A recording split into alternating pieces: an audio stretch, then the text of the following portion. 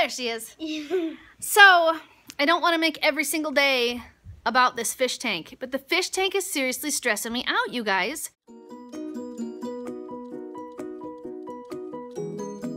I did a 25% water change yesterday. Those of you who know about fish, you'll understand what I'm saying. I did a 25% water change last night using my new vacuum, cleaned out the rocks, and I got 25% of the water out and replaced it and made sure to condition the water with the little fizzy tablets. I did everything that I was supposed to do yesterday. Woke up today and our one of our fish, little mustachio, has white spots on him. And I read that little white spots could mean that he's got, I don't know if I'm pronouncing it right, but ick is what I was reading.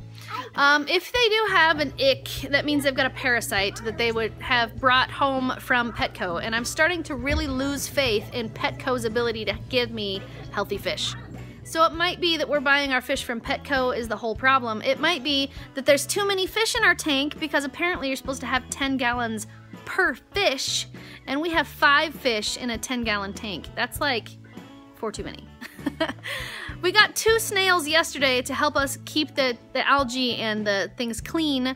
Um, if I do a 25% water change every day, perhaps that will help keep it clean instead of doing it once a week like I thought you were supposed to do. Okay, so if I do 25% change every day and I make sure that I use the fizzy tablets to to condition the water, and I keep the pH levels in check. I still have to worry about ammonia levels because apparently with this many fish, the ammonia levels just go crazy. And now we have a parasite. I'm gonna go crazy with this fish tank, you guys. Okay, so plan of action. Today, my plan is to go to Walmart and get some ammonia testers so I can test the level of ammonia and see if that's really what's way out of whack. I've I read that if your water is cloudy that you've got an ammonia level problem. So maybe it's the ammonia, maybe it's the nitrates. I read something about that too, but I have no idea what any of this stuff means. I thought you just put goldfish in there and they lived. I didn't know it was so complicated. Did you? Did you know having fish was going to be so complicated? And of course, I'm the one that is supposed to be taking care of these things, so I feel personally responsible that I don't know what I'm doing. I feel terrible, you guys, terrible. So this little guy right here is Mustachio. And he, if you can see, has little white spots on him. Those white spots were not there yesterday, but they are the sign of his little immune system fighting off a parasite, which is probably ick. Uh, I don't see it on Flashy. I don't see it on Jewel. I don't see it on Brutus, but I do see it on Tiny's tail. If you can see just a little bit on his back fin there, there's like a little white flake on there and I'm afraid that he is gonna be sick. So I need to do something to take care of these silly fish because I feel personally responsible for them even being in this predicament. We just went to Petco yesterday. Yeah, we went to Petco yesterday.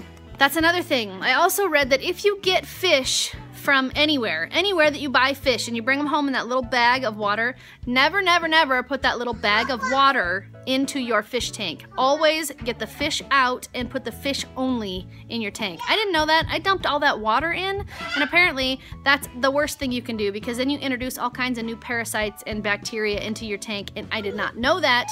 I'm learning as I go here guys and I feel terrible that I didn't already know that but there's no way you could possibly know things that you didn't know because I wouldn't have known to look it up. I just didn't know.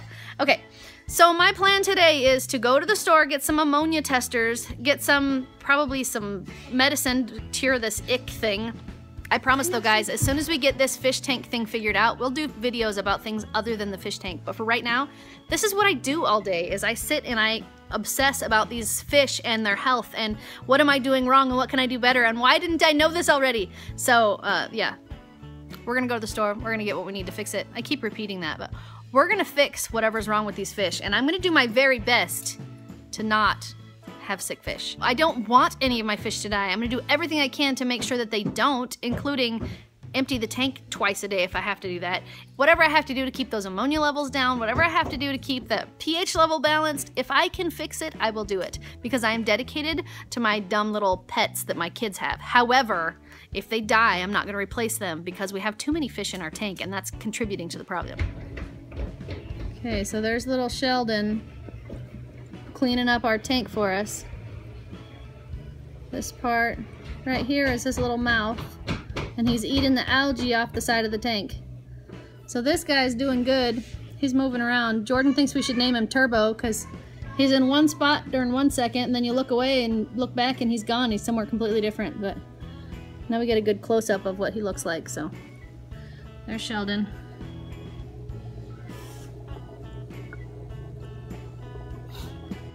And this is Mustachio getting in our way here. And he's the reason that we're headed to the store. He's still got that little flake on the back. He's got another one on his head right there, little white flakes on him. So we're gonna go get some stuff to see if we can take care of him. I cleaned the water one more time and now it's cloudy again. So I'm thinking I'm just gonna have to keep up with the constant cleanings of this tank until we figure out what's going on. Make sure that these guys stay healthy. So for that, we need to go to Walmart. So, let's get out of here. Okay, we're at Walmart, and I think I've picked out everything that I need. I've got a digital thermometer so that I can tell what the temperature of the water is. I've got an ammonia test kit so that I can make sure that my ammonia levels don't get crazy. I've got some ick clear in case I determine that's what it is, I can get that taken care of. So hopefully, between these things, I can figure out what's wrong with my fish and keep them alive. If there's anything else I should get, somebody tell me. And I always thought that having a fish, especially goldfish, it was just like, okay, here's your tank, here's your water, throw the fish and feed it whenever you remember. What a pain. It's expensive. Hey guys, hey guys. Yeah, this isn't cheap. This is not a cheap And, pet to have. and we don't even get to eat the fish at the end. I mean, I guess you could. Once one dies, just pop in your mouth. We're gonna have a fra- fash, uh, fish fry. Hey guys. Yuck. Look, look, guys, look. No. it's Lala and the buns. It's Lala. Lala in the buns. Yeah. This is all the stuff that I'm using in my fish tank. So you guys can see what I'm using to maintain this and maybe somebody out there can help me. So I've got the water conditioner that I use when I do my water exchanges. So I take 25% of the water out, put one of these in, wait for it to dissolve, and then fill it with the water until I get to the top. That's how I'm conditioning the water that comes out of the faucet. I just bought this one to help with the ammonia level, but I haven't used any of this yet. I bought this kind because it was on sale and I got kind of cheap and decided I wanted that. I got some Ick Clear to get rid of the white dots thing that we've got going on. It quickly clears ick or white spots, protects against secondary infections. So I'm gonna use that one if I determine that it's needed. I have pH test strips that I've been using and I just got some ammonia test strips so I can make sure that my ammonia level's not too high. And this is the stuff that I've been using in the tank uh, to make sure that we've got the pH level regulated. So that's my assortment here. Right now I'm going to use an ammonia strip and check my ammonia level in my tank to see if I'm okay right now. So according to the directions, what I need to do is take this little vial that's included in the kit, fill this with water from my tank. Okay, oh, I need to fill it up. Okay, so I have my water from my tank. I'm gonna take my test strip and put it in here and move it up and down for 30 seconds. Two, three, 28, 29, 30. Okay, and then I take it out, shake off the excess water, dump that back in there, and then hold it with the pads. I don't remember if they said up or down. I think they said pads up. Hold it flat.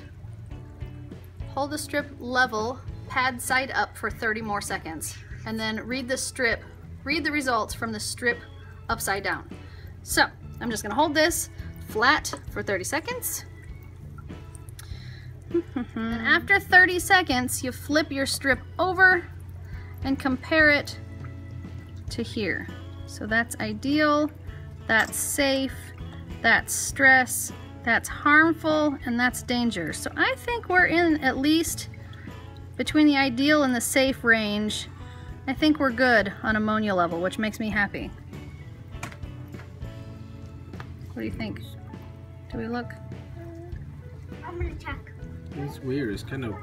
On the it's camera, it looks different. I'm gonna check. Yeah, If you look at it with your green. eyes, it looks like it belongs here. I wanna check it. Stress would be here, and it's still too yellow to be stressed. So maybe it's mm-hmm. between safe and stress. So maybe it's not perfectly ideal, but I think we're in the okay range.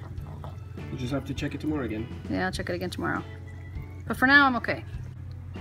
Okay, now I'm gonna check my pH level and see if, uh, if I have a pH problem. So what I do is I take this strip right here and dip it into the water for one second, one, and then I don't shake it off. I just set it nice and flat on here so we can see in a few seconds what our pH level is. Now this one says that we want to maintain our levels between 6.8 and 7.8, which is here and here. So anywhere in here we're okay. This one is bad and that one is bad. So I'm pretty sure we're right in the middle there. Yeah, I agree. A little high pH levels, but not too bad. I think we might be some, no, I think it's No. I think it's right there. I think we're okay for now. I think we've got a balanced tank at the moment. I have a question for my fish people. I tested my pH level and at the time my pH looked like it was fine, but now that it has sat for a little while, it looks like it's high. Do I trust the, the uh, pH strip after 15 seconds or do I really need to look at it after it's sat for a little while? It says on the package to look at it after 15 seconds, so that's what I did. But am I reading it inaccurately because I'm looking at it too soon? Or should I be confident that after 15 seconds that's that's the reading that I should use. You guys tell me. Please help me with that.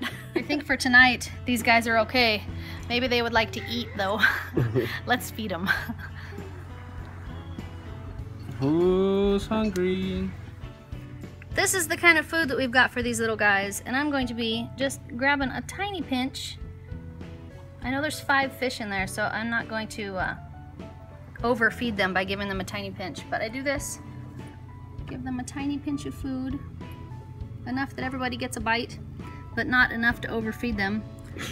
Dinner.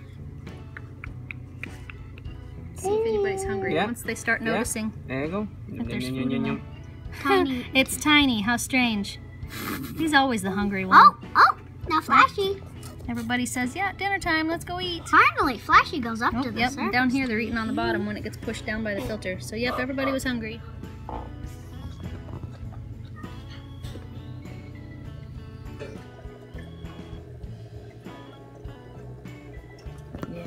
To swim around in that stuff, you. You're the one that brought the yuck. The ick. Ugh. Okay, so this little fizzy tab right here is the ick clear tablet, and that's gonna get rid of this ick that we've got going on. I decided that I would go ahead and treat because I saw Crystal, our little, not this white one, but the other white one, uh, kind of spazzing out in there. And one of the symptoms of this parasite is that your fish will kind of look like it's having a seizure. And that's what she was doing. She was kind of freaking out in there. And Tiny here still has some scales on him and he's not looking so good. He looks okay. He doesn't look as bad as he did earlier today, but he's just not, he's not himself. So I'm hoping this will help. I don't know. I wish any part of this made sense and I'd go, oh yeah, I know exactly what to do, because I don't know what to do. But this is what we're trying. So I don't know if our fish are okay, but I think our tank is balanced at the moment, so at least that's a start, right? Tiny and Mustachio are good now. Tiny and Mustachio are feeling a little better. I, Mustachio. I really hope that we don't have any more problems with our tank. Mustachio. I'll keep an eye on them. Hopefully we won't have to do another fish video tomorrow. Hopefully. Let's do something else tomorrow, okay? Yeah. And if you like this video, give it a um, thumbs up. If you want to make this channel strong, share it with your friends. And now, good night, YouTube. See you, tomato. And if you haven't subscribed, please subscribe now.